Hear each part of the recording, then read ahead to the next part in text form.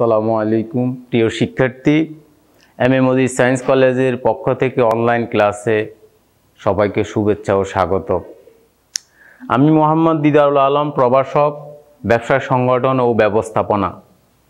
আজকে আমি আলোচনা করব ব্যবসা কি, ব্যবসায়ের বৈশিষ্ট্য।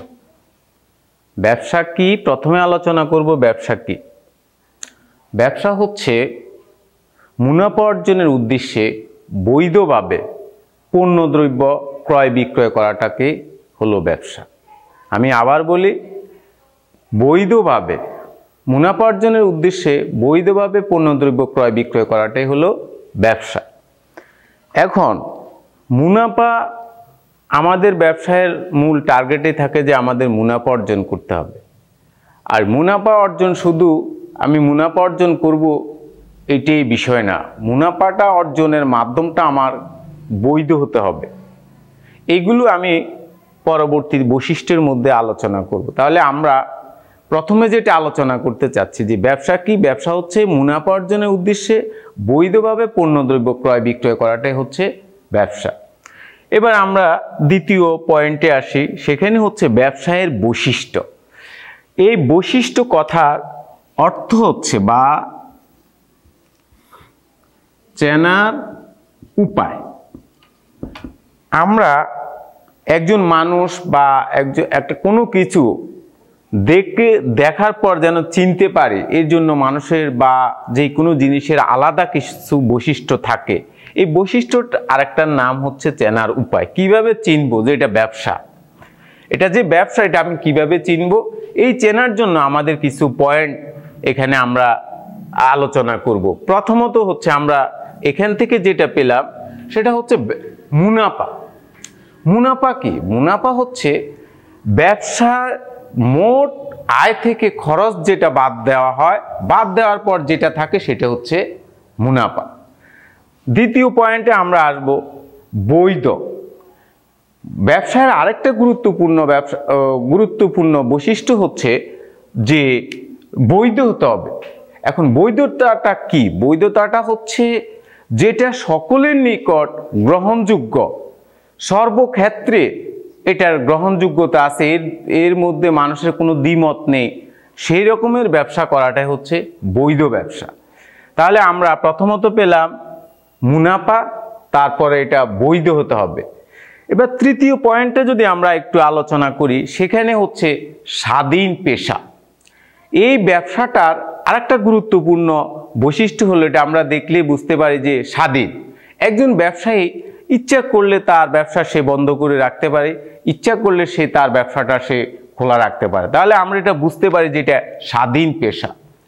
এবার আমরা ব্যবসায়ের যে ক্রয় বিক্রয়, ক্রয় বিক্রয়ের, আমরা যখন দেখব যে পণ্যদ্রব্য কি করা হয়, ক্রয় বিক্রয় করা হয়, ক্রমান্বয়ে আমরা একজন ব্যবসায়ী পণ্য ক্রয় করে, বিক্রয় করে, ক্রয়ের মাধ্যমে তার মালিকানা সে গ্রহণ করে, আবার বিক্রয়ের মাধ্যমে, অর্থের মাধ্যমে তারা আরেকজনের কাছ থেকে পণ্যের মালিকানা হস্তান্তর করে। এবং আরেকটি বৈশিষ্ট্য হচ্ছে ব্যবসায়ের পৌনপনিকতা। এই বৈশিষ্ট্যটা হচ্ছে একজন ব্যবসায়ী পণ্য ক্রয় করবে ক্রয় করে, বিক্রয় করবে, আবার পণ্য শেষ হয়ে গেলে পণ্য ক্রয় করবে, আবার বিক্রয় পাবে। এইভাবে সার্কেল আকৃতিতে যখন ক্রয় বিক্রয় করা হয়, সেটা হচ্ছে ব্যবসায়ের পৌনপুনিকতা। তারপরে নমনীয়। একজন ব্যবসায়ী যখন ব্যবসার মধ্যে নমনীয় ভাব প্রকাশ করে, কারণ একজন ক্রেতা, একজন ব্যবসায়ী অমূল্য সম্পদ। কেননা, একজন ক্রেতার কাছ থেকে সে কি করবে? মুনাফা অর্জন করবে। সেই জন্য একজন ব্যবসায়ীকে নমনীয় হতে হবে। আরেকটা ব্যবসা ব্যবসায়ের আরও একটি বৈশিষ্ট্য হলো যে ব্যবসায়ের ব্যবসায়ের উদ্দেশ্য। ব্যবসার উদ্দেশ্য কি?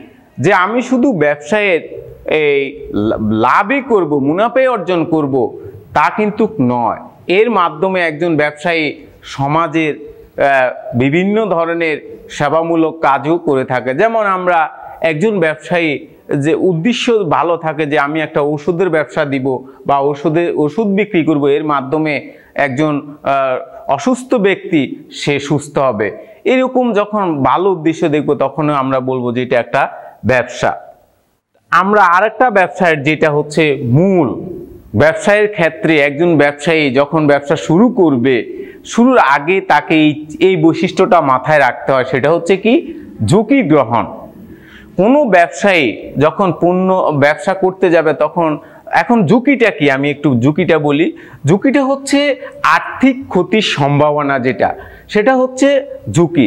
আর্থিক ক্ষতির সম্ভাবনা যে, আমার ব্যবসা দিচ্ছি সেই ব্যবসার মধ্যে যে যে কোনো সময় আমার ব্যবসা ক্ষতি হতে পারে।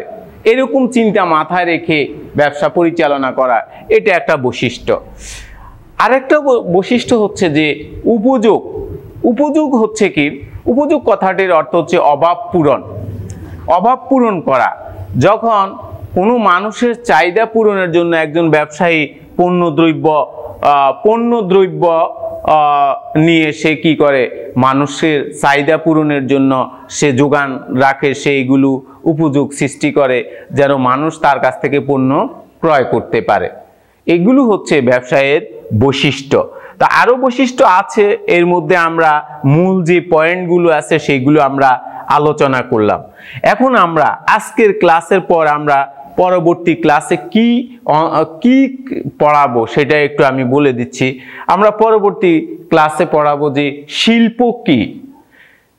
আমরা পরবর্তী ক্লাসে পড়াবো শিল্প কি? শিল্পের প্রকারভেদ। কত প্রকারের শিল্প আমাদের দেশে আছে? সেই ধরনের জিনিসগুলো আমরা এখানে সেই শিল্পগুলো সম্পর্কে পরবর্তী ক্লাসে আমরা আলোচনা করব এবং আমরা শিখব। কিন্তু আমরা আসলে আজকে আমি এখানে বলে যাচ্ছি, তোমরা কিন্তু মনোযোগের সহিত এই ক্লাসগুলো দেখবা এবং শিখবা।